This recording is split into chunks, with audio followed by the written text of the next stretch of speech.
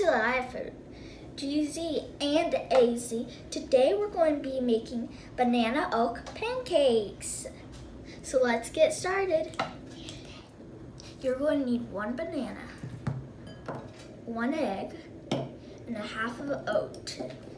And um, so thank you for Grandma Kay. She gave us um the recipe to make this. So yeah, what are you going to do is you're going to put your banana in the um bowl, and then you're going to start mashing it up, like all smashed up. Smash, smash.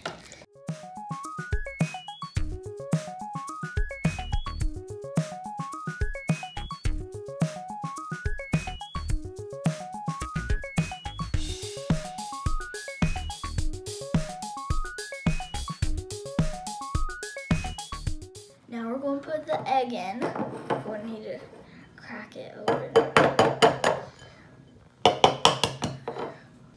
Uh, hope I don't get sh Oh, no, B. Oh no, don't get shell.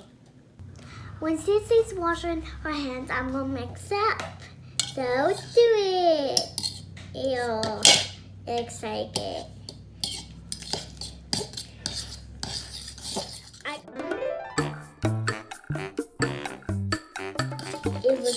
Now it's time to add a half a cup of oats. Now we added the oats, now we can mix everything up.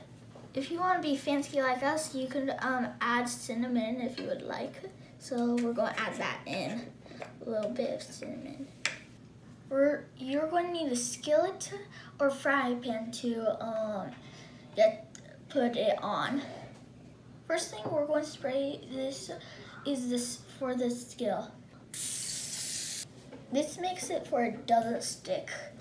Put on the band, and then spread it out a little bit. Put another one. Make it like baby ones. Cute. Oh, it's getting hot.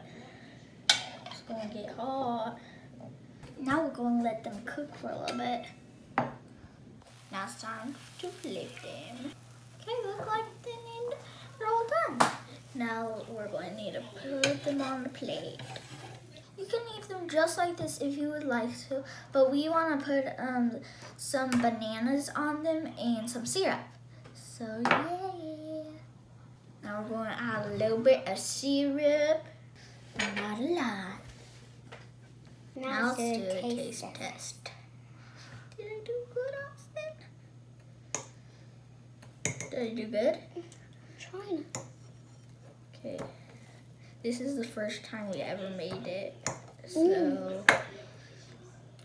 I think it's really good.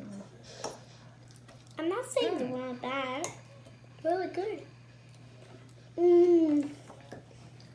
these are good. Can we make it another time? Thank you, Grandma Kay, for the recipe. This is really nice. Tastes good.